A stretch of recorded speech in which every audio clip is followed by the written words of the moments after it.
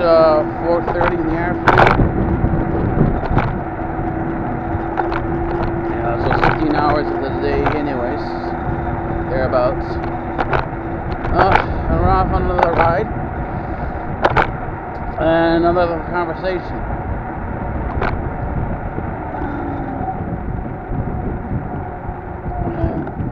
And this is sort of, uh, will place things in context.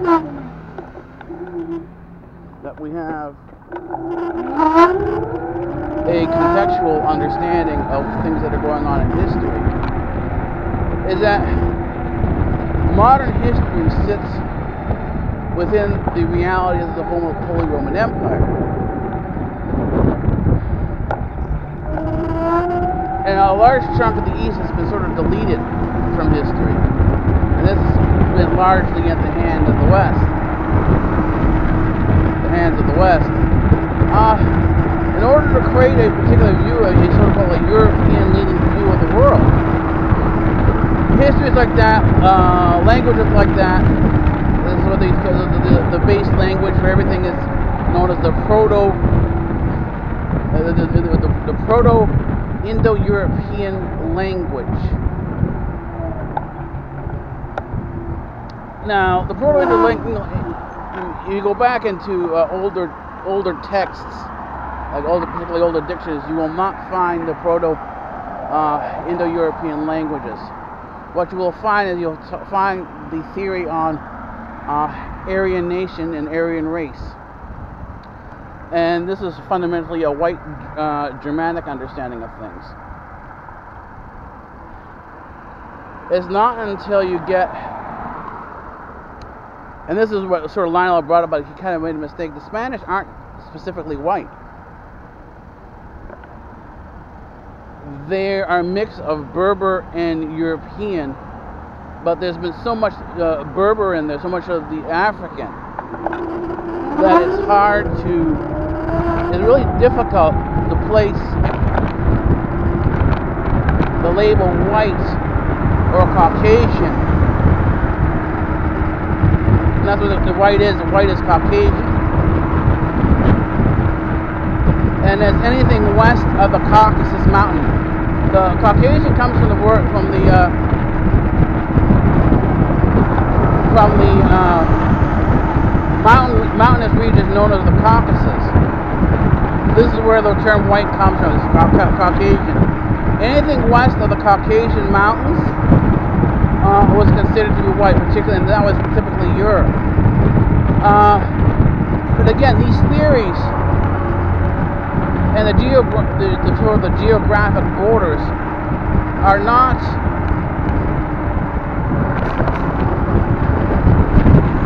set in stone. There is a lot of, uh, uh, in terms of villages that sit on the border ranges, there's a lot of intermixing between the different border villages. So the borders that define the Caucasus and the, Europeans and the Asians is not well set, it's not well defined. And there's very little known about uh, the sort of the non-Europeans because a large chunk of the history uh, was destroyed. I mean, you, you, look at the Battle of Hastings, which was in 1066. Uh, you look, see other different sources, and I found this at the, actually NIH's library that there was significantly uh, that, the, that the Roman Catholic Church, the Roman Catholic armies, didn't do a crusade just in the Middle East, but they did it all across Europe. So the Battle of Hastings was not unusual to, to England. What they did is they went after any group that wasn't within the Roman Catholic sphere. And they pulled all the Christian groups at the point of a sword into uh, Roman Catholic Christianity. It had to be that type. And no other type was accepted. So this was the creation of Europe. The creation of Europe sits with the creation of the Holy Roman Empire, which neither was neither well, was neither holy nor Roman. It wasn't actually Roman. These were these were what they call loosely called the Germanic tribes. But even there, the Germanic term Germanic tribe isn't proper because if you look at the history of Germany, you'll find that that, uh, uh, that Munich was not part of Germany. Munich was part of Bavaria, and that you had different towns, different you, you had a separation of kingdoms. Uh, in what is now called Germany. This includes Austria. Uh, you had the uh, before this you had the Austro-Hungarian Empire. In other words, you had a mix of geographies that one has to bring into the context of today's discussion in terms of what they talk about. Well, what do you mean by European, or what do you mean by Christian? Because it wasn't all monolithic before. And just you know, the, the, the, the Protestants will never, Protestants will never say that they're Catholic, and there's a divide there. And even amongst the Protestants, there are a number of different uh, Protestant groups. So you can't simply say that Protestant is all one thing. It has to be, and then this is where, where the issue in terms of definition comes in.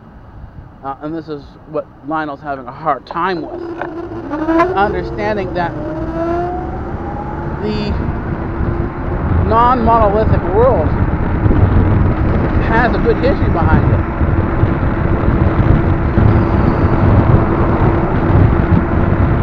And this was picked up lately by the humanists.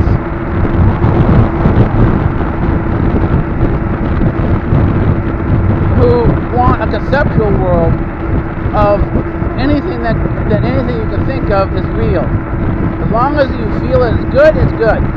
This is the model. This is the this is the, uh, the morals of society today. That anything that anything that feels good is good. If it feels bad, it's bad.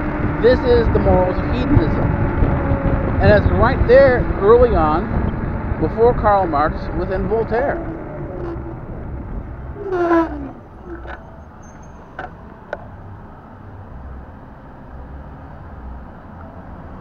But again, what happens? None of the stuff, none of the history. If you listen to the pundits, none of the history ever comes into the discussion.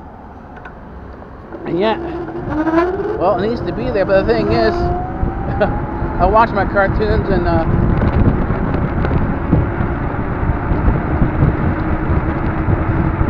and studying is boring. Learning something is boring. Everything has to be fun. Well, unfortunately, not everything is fun. There are realities that aren't fun. Things go that go on that aren't fun. And we sort of have to live within these understandings that, well,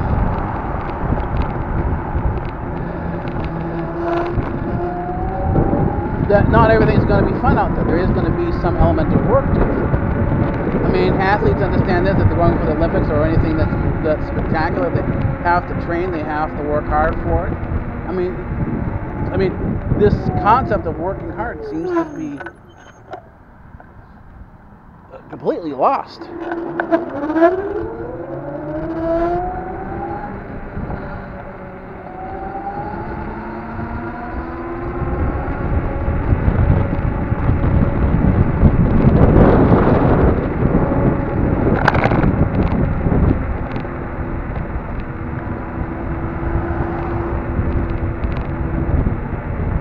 Then again, I'm a nerd and I like studying. That's part of my fun. That's why my gaming is the way it is.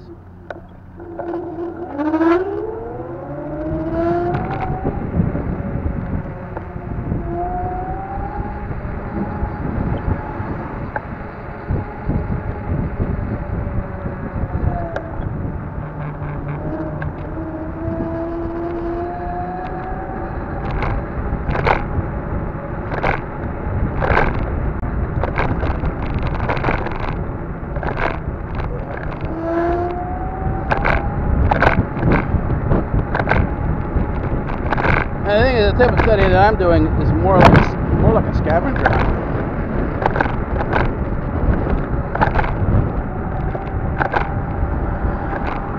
Not all the information is readily available. You pick it up in pieces. So if you're a person who likes puzzles, like like these large 3,000 piece puzzles, you find that enjoyable, then research is up your is, is right up your alley. But the thing is, if you go into an institute or a university, uh, it's going to be uh, restricted because you can only do what the institute wants you to do. There are certain boundaries and limits.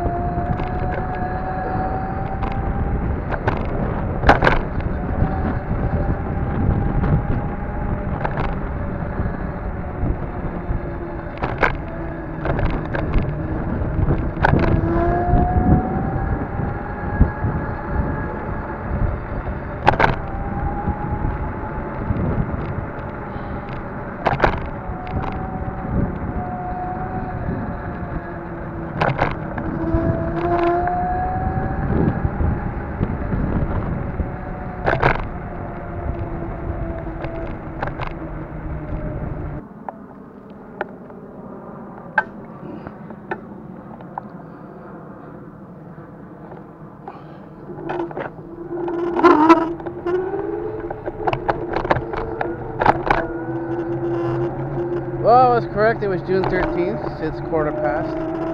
Editing. Not bad. I'm up for going back to my place now. Hey, have a good day.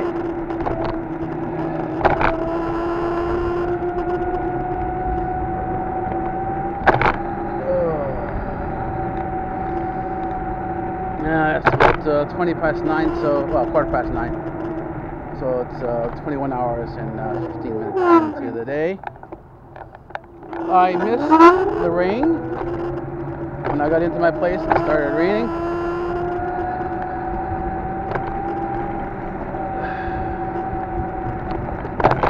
And it looks like I'll miss the rain on the way back as well. It seems to be nice outside.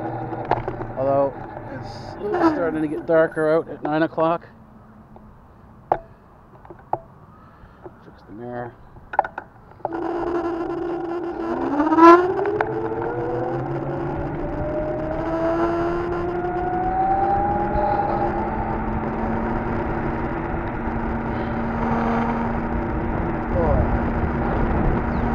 So, on the way in, we were talking about the perceptions of things compared to the realities. And everyone has sort of these perceptions and misconceptions. And this is sort of talking about Lion LeBron's uh, description of Latinos, Hispanics, and those originating from Spain, some some aspect or another, as being white. Where if you look at the history of Spain, you begin to realize that white, the Caucasian, is is basically confined to um,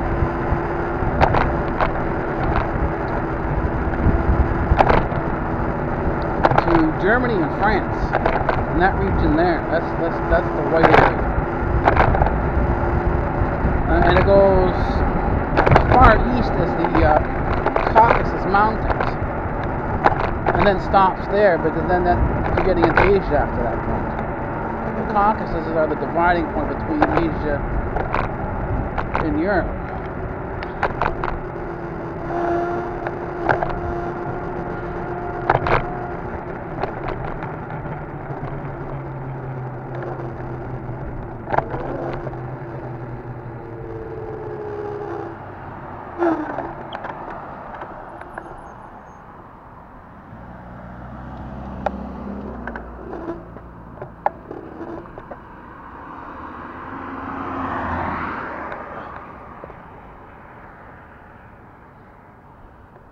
So when they talk about Caucasoid, they're talking about primarily uh, those people west of the Caucasus Mountains,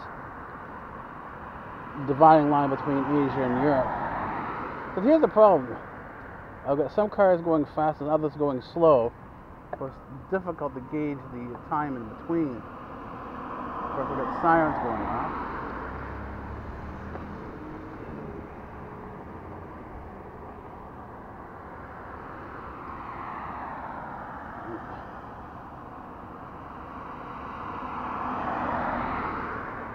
There we go. We got one, one car left on the left. Now we can go.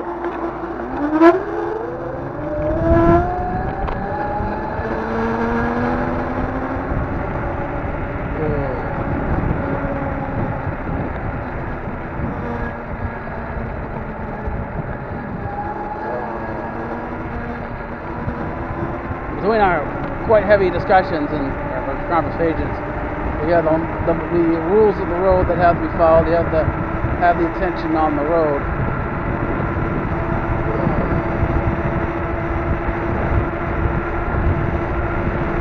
Problem with the summer, nicer weather, but occasionally you get bugs in the mouth.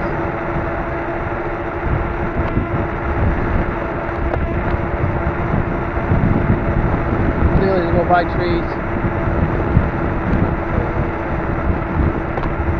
Someone's got a patio going outside on that uh, on uh, the uh, strip mall. That is a restaurant in there. Uh, anyways, uh, the Europeans are really confined to a small place. And basically, if you want to go into biblical, they are there biblically. Biblically, they're the uh, they're the Galatians, uh, the people of Gaul and that's particularly France, uh, what is now France and Germany. That kind of defines what Europe is. What happens is in Italy and Spain is you have a large influx. You have, still have a large population of ancient Greeks. Uh, and Spaniards. I mean. And Arabs. the North Africans. You see, the North Africans uh, did have us have the ability to travel, and you have the North Africans, as you do the Romans, reaching all the way to England. This is how you had uh, Joseph of Arimathea, the uh, person who took the body of Christ down from the cross. How does he end up in England? Well, that's because uh, by sea travel you could get there. They knew about England. So England, you know, from the time of the Roman Empire, uh, was actually known about. And some will even argue that they're, they're, that they, they were known about by the ancient Egyptians. The ancient Egyptians could could have sailed to uh, to England, and say what is now England. So you have a large history there in which to place things within context. But the Spaniards, in terms of the whiteness, don't come into play in terms of the Germanic sense of things, in terms of the Protestants. So you talk about well, the Protestants, those are primarily those from Gaul, those from Gaul. Uh, those are the English and the Germans. Uh, this has to do with uh, the monk Martin Luther and Lutherans and so on and so forth. Uh, the Presbyterians all came out of uh, Germany and uh, England as Protestants. But the ones that remained Catholic under the papacy were uh, France, Spain, and Italy. And they're the ones who actually formed the core of the Holy Roman Empire. And so you're going back, in terms of the whiteness, you're going back to the Holy Roman Empire. And this is where you get a large chunk of so-called whiteness, but it's really the European understanding. And once again, Dostoevsky takes care of this brilliantly, brilliantly. And it's in the chapter of uh, Brothers Karamazov, the chapter of the Grand Inquisitor. And the one line that I like a lot that sort of sums things up, we will sell them slavery as freedom. In other words, the Roman Catholic Church is at the core of a lot of this stuff. a lot of the stuff you see going on, a lot of different things, they were sort of, as I said before, the Jews were always the middlemen. The, the, the, the, Jews have always historically been the middlemen. So who is the one on top ordering everything? Well, it's the Roman Catholic, it's the papacy. The papacy is the core of, of, of the, uh, well, the Gnostic world.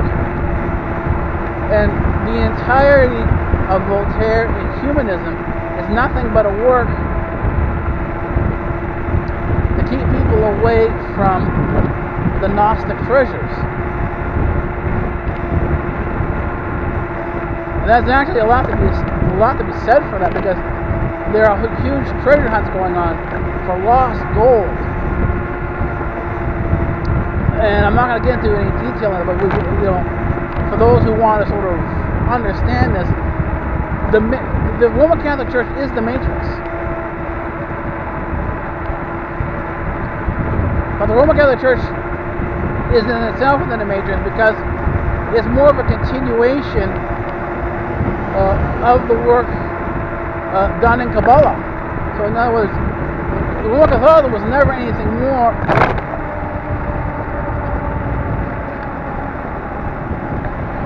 was never anything more than Kabbalism.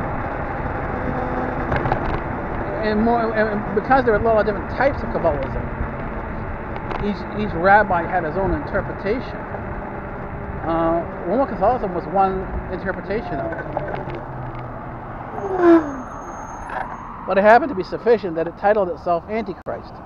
The official title of uh, the Roman Catholic Church is the Vicar of Christ, which means to take the place of Christ. And the Greek term antis, where we get the word anti from, is not opposition, but really means to take the place of. Is the Greek word antis. And so what happens is you have the Pope taking the place of Christ, of, taking the place of Christ. And that is specifically the definition of the Antichrist. So here you have someone calling himself the Antichrist and saying, okay, this is what we're going to do. And so you, you, you set the environment now for the Antichrist.